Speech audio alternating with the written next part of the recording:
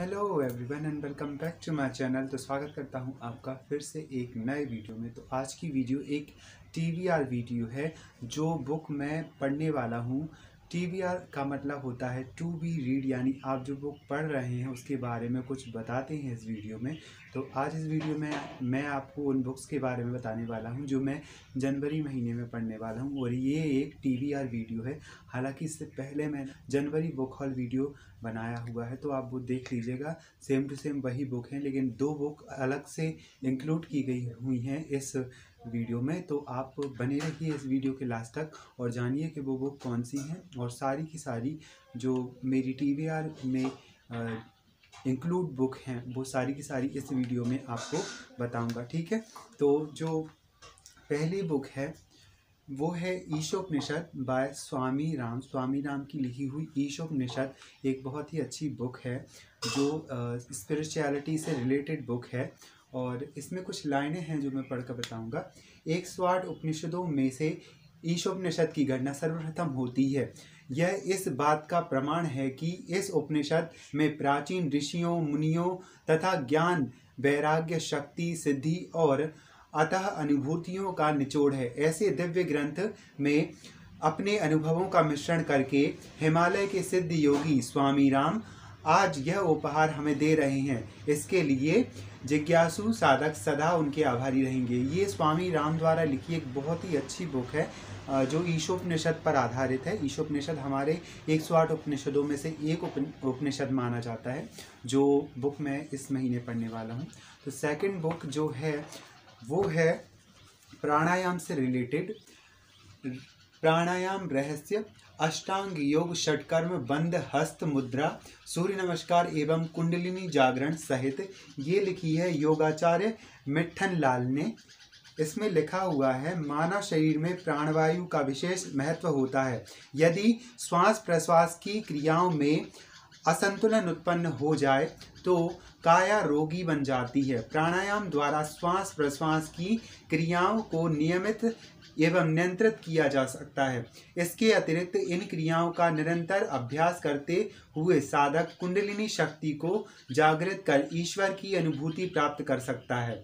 शरीर के निचले भाग में सुप्त सुष्मिना नाड़ी को जागृत करने के लिए सप्त चक्रों का भेदन किया जाता है। चक्रों के भेदन से ही ऊर्जा धीरे धीरे ऊपर की ओर उठने लगती है और दिव्य प्रकाश का अनुभव होने लगता है। किसी साधक को यह सिद्धि कम समय में मिलती है तो किसी को अधिक समय में प्राप्त होती है। प्रस्तुत पुस्तक में प्राणायाम से संबंधित विभिन्न पहलुओं का विस्तार पूर्वक वर्णन किया गया है, जिसका लाभ उठाकर साधक तन और मन दोनों तरह से निरोगी काया प्राप्त कर सकता है। तो ये बुक है प्राणायाम रहस्य, जो इस महीने में पढ़ने वाला हूँ।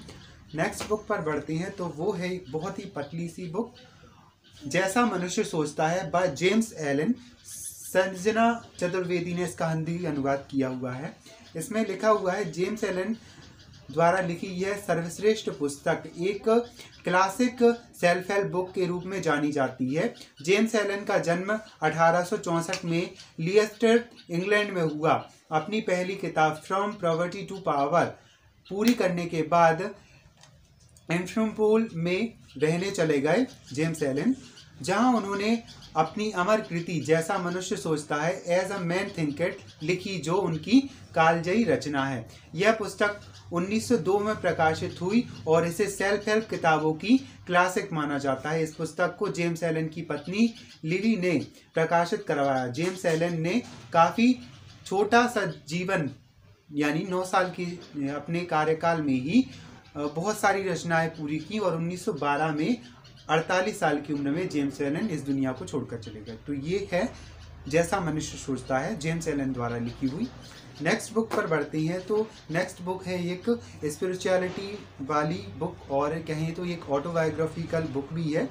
और ये है एक योगी की आत्मकथा बाय परमहंस योगानंद। परमहंस योगानंद द्वारा लिखी उनकी जीवनी या ऑटोबायोग्राफी वाली ये बुक है।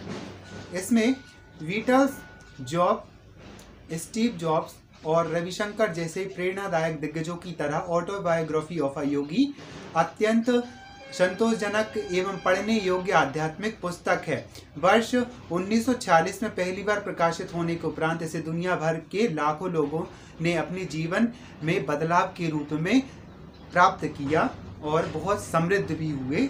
संपूर्ण रूप से मौलिक पठनीय सामग्री जो परमहंस योगानंद के जीवन चरित्रों को उजागर करती है। इस पुस्तक को अपनी पैनी एवं अंदर तक भेदने वाली एवं निर्देशायुक्त शिक्षाओं के लिए सदैव सम्मान के साथ याद किया जाता है। एक अद्भुत भारतीय रहस्यवाद और आध्यात्मिकता से युक्त यह आत्मकथा आपको एक ऐसी अविश्वसनीय यात्रा पर ले जाएगी जो जीवन के सादगी भरे, सुखद, आध्यात्मिक, शांतिदायक, सत्य और असत्य, अस्तित्व और अनभिज्ञ जीवन एवं मृत्यु से आपका परिचय करवाएगी। यह पुस्तक ऐसी है जो एक घर में रखने योग्य है।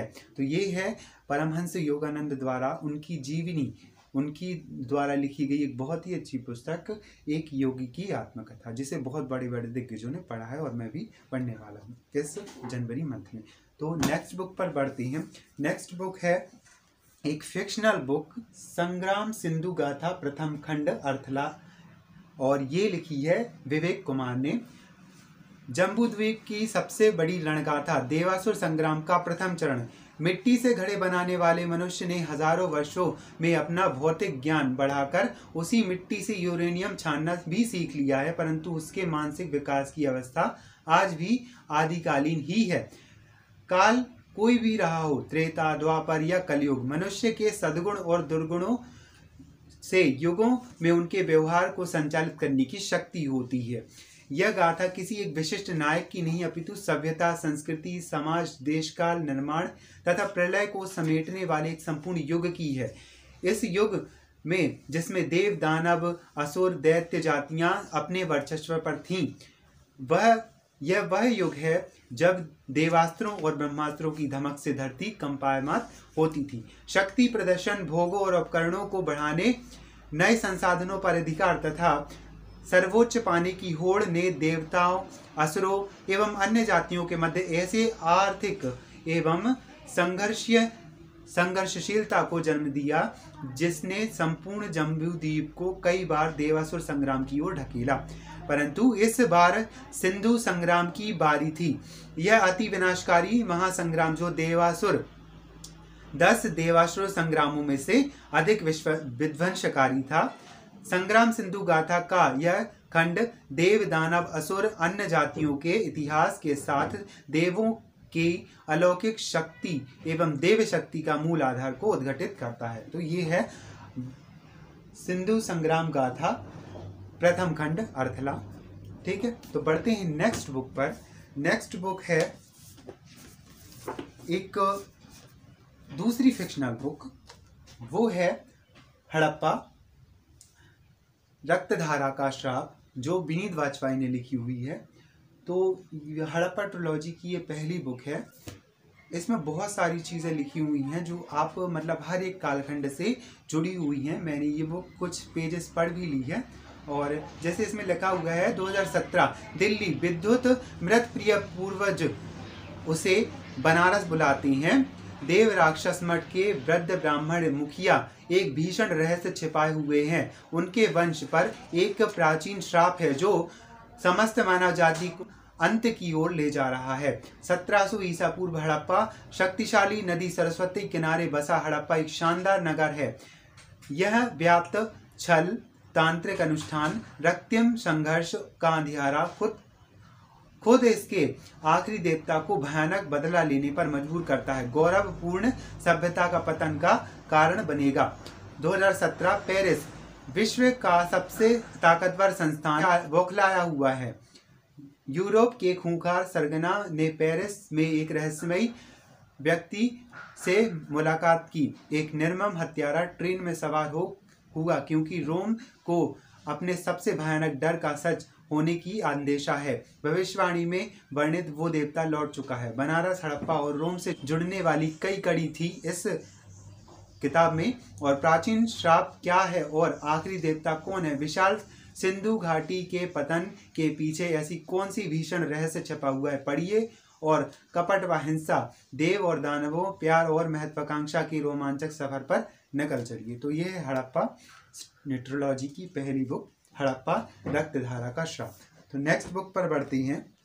नेक्स्ट बुक है हैरी पॉटर सीरीज़ की सेकंड बुक हैरी पॉटर और रहस्यमय तहखाना बाय जे के रॉलिंग जे के रॉलिंग की लिखी हुई बहुत ही अच्छी बुक जब से हैरी पॉटर गर्मी की छुट्टियों में घर लौटा था, तभी से उसके अंकल आंटी उससे बहुत घटिया और बुरा व्यवहार कर रहे थे। वह एक बार फिर हॉकवर्ट्स जादूगरी और तंत्र के विद्यालय में जाने के लिए छटपटा रहा था, परंतु तभी यह घरेलू जिन हैरी के पास आता है और उसे चेतावनी देता है कि अगर वह हॉकवर्ट जाएगा तो भयानक घटनाएँ होंगी, जिनमें उसकी जान भी जा सकती है और भयानक घटनाएँ होती भी हैं। हैरी को हॉगवर्थ में अपने दूसरे साल में बहुत से रोमांचक अनुभव होते हैं, जिनमें कार को उड़ाने से लेकर क्विटेज के खेल में पहलवान से जान बचाने तक की घटना शामिल है, परंतु आतंक का असली माहौल तब शुरू होता है जब रहस्यमय तहखाना खुलता है और हॉकवर्ट्स के विद्यार्थी एक के बाद एक बेजान होने लगते हैं। तहखाने को कौन खोल रहा है? कहीं यह ड्रेको मेरफा तो नहीं, जिसके पिता शैतानी शहनशाह लॉर्ड वॉल्डमोट के खास सहयोगी थे, या फिर कहीं यह वह विद्यार्थी तो नहीं, जिस पर हॉगवर्ट्स में सबसे ज़्यादा शक किया जाता है, यानी खुद Harry Potter. New York time best seller Harry Potter और पारस पत्थर। तो ये बुक है जो जनवरी महीने में हैरी पॉटर सीरीज़ की दूसरी बुक मैं पढ़ने वाला हूँ। बढ़ते हैं नेक्स्ट बुक पर। नेक्स्ट बुक है सेल्फ हेल्प कैटेगरी से रिलेटेड ये है number one best seller book अपनी भावनाओं को ठेस पहुँचते देखना चाहते हैं, तभी पढ़िए। लाइफ के कड़वे सच। दुनिया की फालतू बकवासों से बचने के ज़बरदस्त आइडियाज़ बाय श्वेताम गंगवार। श्वेताम गंगवार द्वारा लिखी हुई एक बहुत अच्छी बुक एक बहुत अच्छी सेल्फ हेल्प बुक जो आपको पढ़नी ही चाहिए 2022 में। श्वेताम गंगवार एक पेशेवर प्रॉब्लम सॉल्वर हैं और अपने काम में सर्वश्रेष्ठ हैं।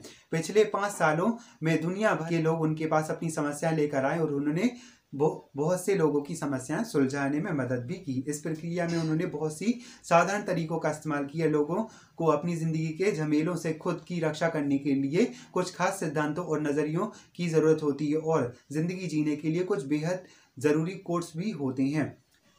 पर ज़रा सावधान। गंगवार आपके जज्बातों को कतई नहीं बख्शते, सीधे सपाट, स्पष्ट बात करने वाली कोई भी तरह की फालतू तरीके ना बताते हुए इस गाइड को में आपको मिलेगा।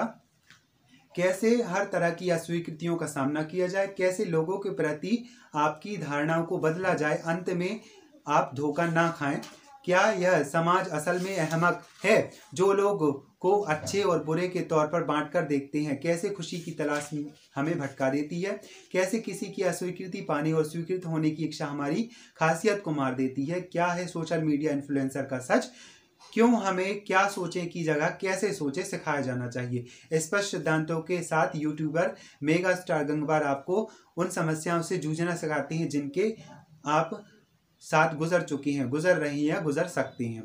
तो आसानी में ये तरोताज़ा करने वाली बहुत ही अच्छी बुक है, जो आपको लाइफ के कड़वे सच बताएगी और आपको उन लाइफ के कड़वे सचों को जानना ही चाहिए। तो ये है लाइफ के कड़वे सच बाय श्वेताम गंगवार। बढ़ते हैं नेक्स्ट बुक पर। नेक्स्ट बुक ही सेल्फ हेल्प बुक है। वो है सन्यासी की तरह सोचें। अपने मस्तिष्क को शांति और उद्देश्य पाने हेतु प्रशिक्षित करें। By Jay Shetty Jay Shetty की लिखी हुई बहुत ही खास और उमदा बुक जब आप सन्यासी की तरह सोचेंगे तो आप समझ पाएँगे कि अपना उद्देश्य कैसे सोचें, नकारात्मकता से कैसे उभरें, अधिक विचार करने की आदत को कैसे रोकें, तुलना प्रेम को कैसे समाप्त कर देती है, अपने डर का इस्तेमाल कैसे करें, खुशी की तलाश करने पर आपको खुशी क्यों नहीं मिल सकती?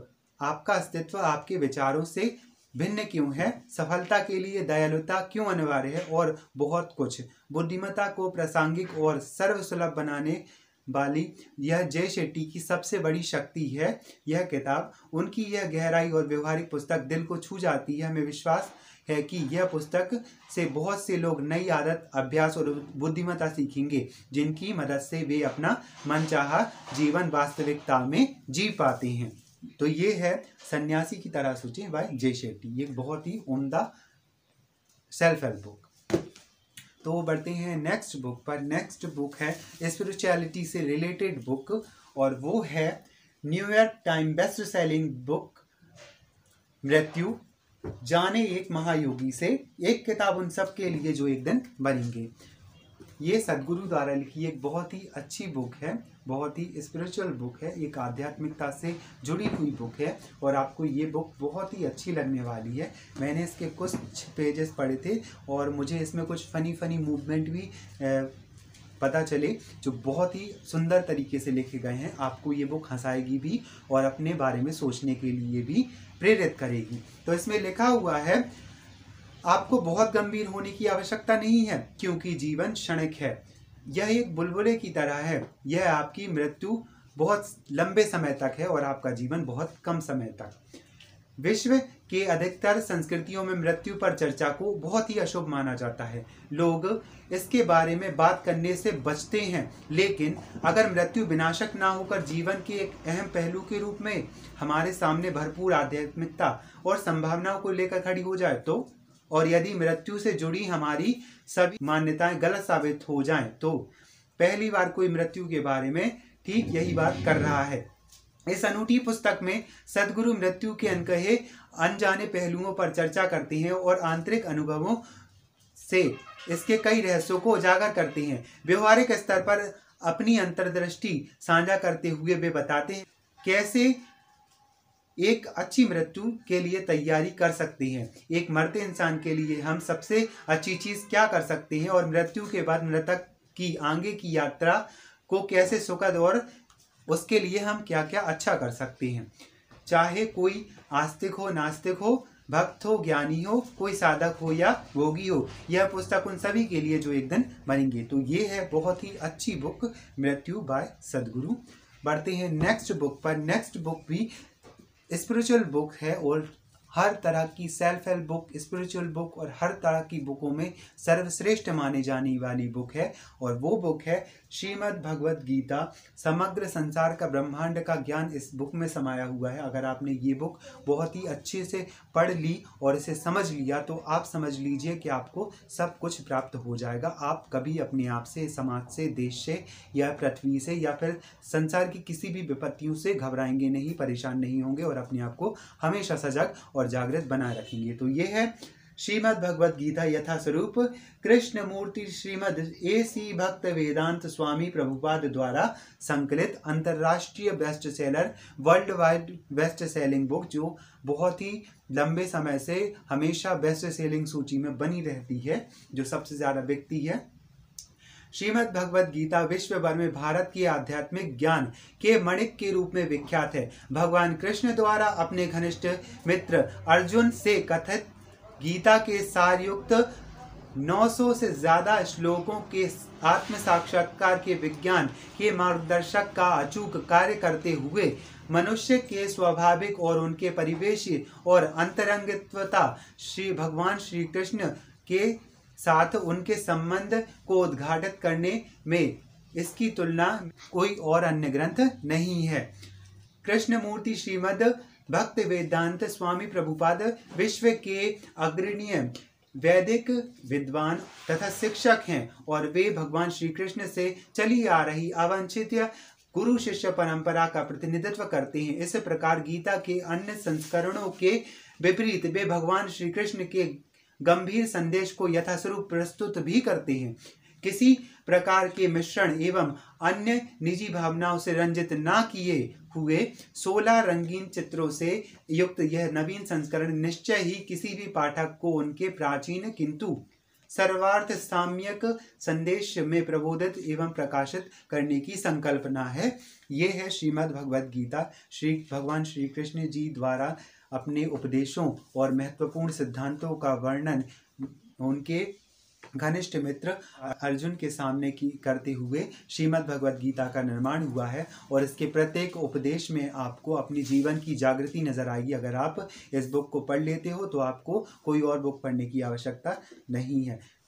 तो ये रही टोटल 11 बुक जो मैं इस जनवरी महीने में ख़त्म करूँगा। जनवरी महीने के कुछ दिन और ज़्यादा बढ़ सकते हैं, शायद फरवरी भी लग सकता है। तो ये पूरी की पूरी 11 बुक मैं इस महीने पढ़ने वाला हूँ और प्रत्येक बुक का आपको रिव्यू मिल जाएगा और साथ ही आपको बहुत अच्छा अनुभव होने वाला है जब आप इन सारी बुकों को मेरे चैनल पर देखोगे और इनकी रिव्यू के साथ साथ में इनकी समरी भी मैं दूँगा और ख़ास तौर पर मैं सारी बुकों की बहुत अच्छी अच्छी वीडियो बनाकर डालूँगा।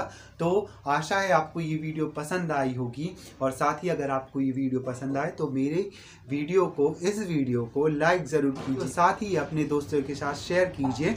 साथ ही अगर आप नए हैं तो मेरे चैनल को सब्सक्राइब भी कर लीजिए। वीडियो के अंत तक बने रहने के लिए बहुत बहुत धन्यवाद और आपका दिन शुभ हो। साथ ही आप बहुत सारी रीडिंग करते रहें, बहुत सारी बुक पढ़ते रहें। स्वस्थ रहिए खुश रहिए और बहुत सारी रीडिंग करते रहिए। मिलते हैं नेक्स्ट वीडियो में, तब तक के लिए टिल देन बाय